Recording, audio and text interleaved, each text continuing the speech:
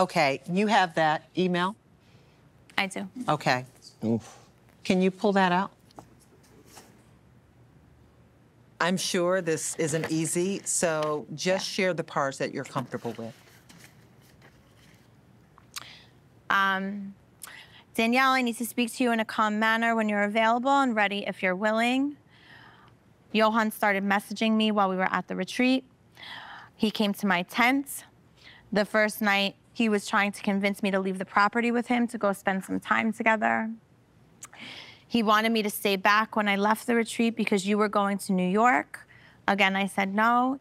After you talked to me and told me not to talk to him anymore, I told him that I couldn't talk to him anymore, and he got super mad and told me that I was letting you control me and I was afraid of you.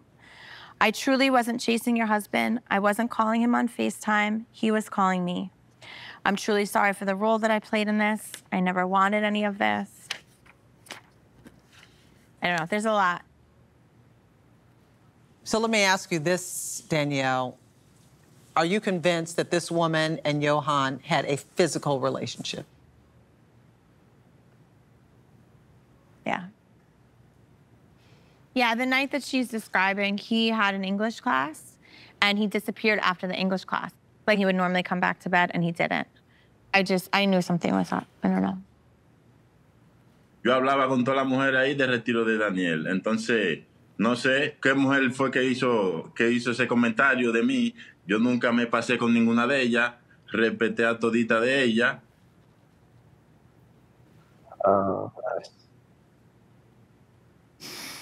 Yo fui a ese retiro, fue para ayudarte, pues yo en ningún momento, ese, eso no es mi, mi vida de que estar en retiro, ningún maldito retiro. Pero tú eres una malagradecida.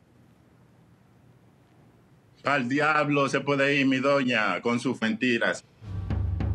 Se va para el diablo. Tú quieres ser malo, yo voy a ser malo contigo.